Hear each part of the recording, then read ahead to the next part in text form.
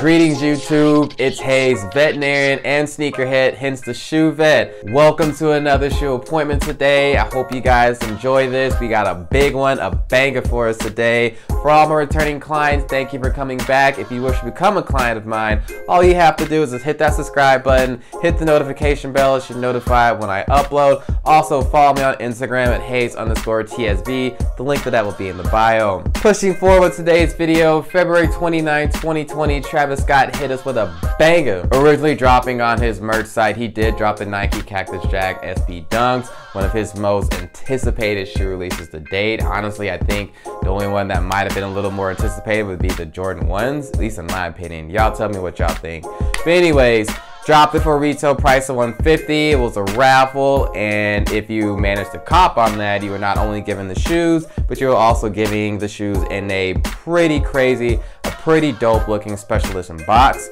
If you're like me though, and probably hundreds of thousands of other people, you got an email saying that, hey, the raffle's open, even though you've already entered it and you're just pacing at your computer for the past 40 minutes. So I don't really, I, I don't really know what the point of that was. But anyways, that's neither here or there. Of course, I got the L, unfortunately, but I kind of saw this coming. Uh, after the website drop, it did raffle off in a bunch of skate shops, but that was pandemonium anyway. I think it was a skate shop that even got robbed at gunpoint. Like, it was ridiculous. So, seeing this coming and me looking into the future on this. Does your friend often do that? Strange. We all right? On this. I did go ahead and release a few pairs on GOAT. Got a lot of money off of that and only had to pay a little bit off top. But I actually got the shoes off of StockX. I uh, got at a real good price for what it's going for now. And here we are. So with that intro out the way though, let me introduce you guys today's review, the Nike Travis Scott SB Dunks.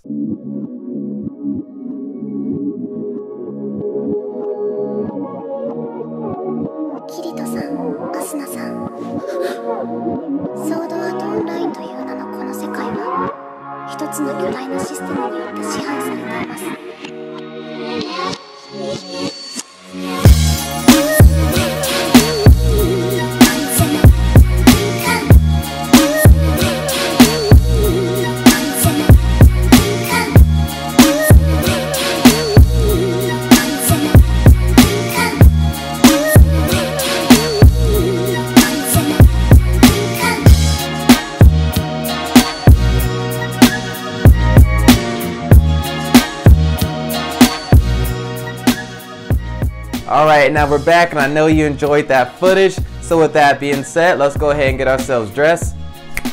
And now that we're in uniform, let's go ahead and commence with today's dissection.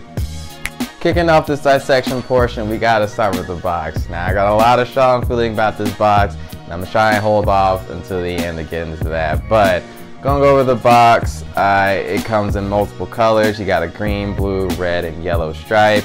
Nike SB on the top. On the lateral aspect of the box, on one side you have a Nike SB logo, and on the other side you got your sizing tag. Your sizing tag reads Nike SB Dunk Low, PRM, QS. Official colorways are black, black parachute, and beige. I did go my true to size, 9.5, and suggested retail price is $150. This box is a flip open box, and you're greeted with a cardboard interior. What you're also greeted with though is one of the best tissue papers in my opinion this black bandana. I think it really sets the tone for this shoe and I really do like that detail. Underneath that, you do have your regular, you know, white tissue paper, and of course, beneath that, you got your shoe. Now, getting onto this shoe, boy, this shoe is amazing. I think the details, the vibe this shoe gives off is just crazy. They did an excellent job with the execution of this shoe. So, starting to go down the shoe, the upper is primarily comprised of this very short-haired, very smooth suede. It does kind of, you know, do that little color change thing when you rub your finger with it against the grain, but it's not necessarily like a, it's not a very, very hairy or grainy suede but it still feels good. This SB comes with that fat, thick tongue. On the front, you do have that Cactus Jack logo. On the ventral aspect of the tongue, you do have a little Nike tab that says Nike and the swoosh name and stripe are trademarks and your guarantee of quality. Moving down the throat of the tongue, you do have a little lace hoop for your laces to go through. And then cranially towards the end of the shoe on your toe box, you do have a lot of perforation holes for breathability. Going around the mud guard of the shoe, the lace eyelets, and around the heel of the shoe, you do have this I would, to, on first look to me, I would say navy blue, but I guess it's actually black. This canvas black bandana print. What's cool about this canvas, is you, as you probably know, but if you don't, you can actually cut this canvas material away and it does unveil a kind of elephant print underneath it. Honestly, to me, I'm not really a fan of it. I'm gonna throw a picture up so you can see what it looks like, but I'm honestly not a fan. I'm gonna try and keep like this as long as I can. Bars. On both the lateral, meaning outside, and medial, meaning inside panel of the shoe towards the midfoot, you are hit with this kind of panel of this argyle print in this canvas material. Originating from both of these panels, you do have the Nike swooshes. On the lateral aspect, the swooshes in a midnight black. On the medial aspect, the swoosh this pretty nice flamingo pink. I'm not sure why they chose pink, but it does contrast nicely with the shoe. Both swooshes meet in the back around this other panel of suede that does have the Nike emblem embossed in pink. Ventral or below that, you are hit with some more panels of that suede material with the Cactus Jack logo embossed into it. And then just ventral to that, you are hit with some more of that canvas material I previously mentioned. I cannot go into the midsole without getting to my favorite part of this actual shoe. It's the laces. In my opinion, the laces are what ties this shoe all together pun completely intended. I think the laces just makes your shoe even more unique than it really already is. I think it's also one of those eye-grabbing things where it's just like, well, it's not a typical lace, it's an actual rope. And again, it just really, it just really supports, you know, the whole, you know, street vibe that this shoe is really trying to give in my opinion. You are giving two extra laces though if you don't like it, a pink and a black pair. Now, getting to the midsole, the midsole is in kind of this creamy white color with your air unit inside that you cannot see. And then your outsole is back to that sandy beige color with the Nike emblem in the middle of it. This shoe does come with a removable insole that's to me honestly looks like a kind of a dark olive color, but I'm gonna say it's black. It has that bandana print with the Cactus Jack logo going down the middle of the foot. Your Nike SB logo is towards the heel. And that's gonna conclude our dissection part. Now getting to my thoughts, feelings, as well as sizing of this shoe. I mean, the only thing that I am really upset about this shoe is the box. This right here.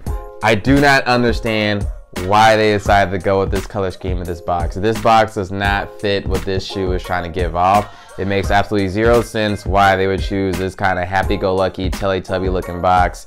And then you have, and then they give you like this kind of gritty street themed shoe. Like it just doesn't make any sense to me. You know, like I get it. You know, the special edition box is supposed to be what? Special.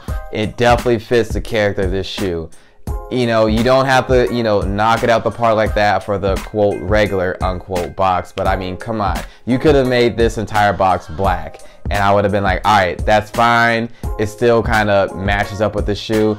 But just this, this rainbow box right here, like it just doesn't make sense to me. Maybe it does to you. Let me know in the comment section if this box made sense to you or if you even care about it. You know, I like my boxes and I like, you know, an entire theme. I like the entire presentation of a shoe from the box to the tissue paper to the actual shoe itself and accessories you know that but that's just me you know you let me know how you feel as far as sizing goes i went to my true to size nine and a half fits me perfectly. I have no issues if you are on the fence i'm pretty confident you can go to your local sneaker store or consignment shop try on a pair of nike dunks and then you should be good to go. Hopefully, whenever Travis decides to release his next drop, hopefully the sneaker guys will please, please, please, please bless me. I think the closest I've ever gotten to actually copying a Cactus Jack shoe for retail was back when the ones dropped. I was a little bit late. I actually got through. I got into my cart, got to the payment, out of stock.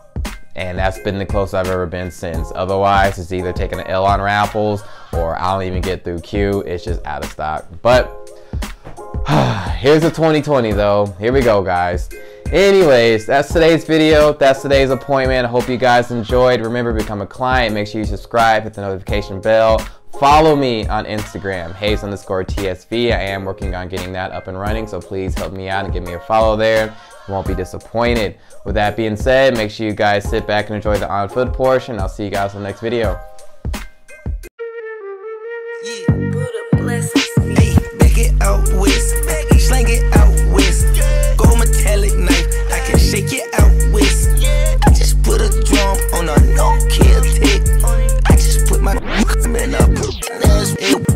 Jump out the back of the bus.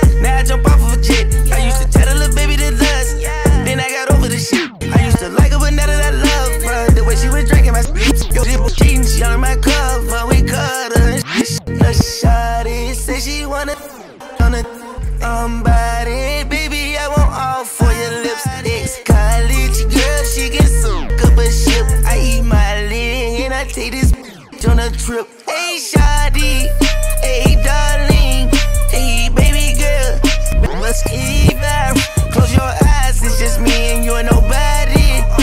It's sideways if we in public or the driveway. Vibes in this beat, vibe on the jet, five thousand.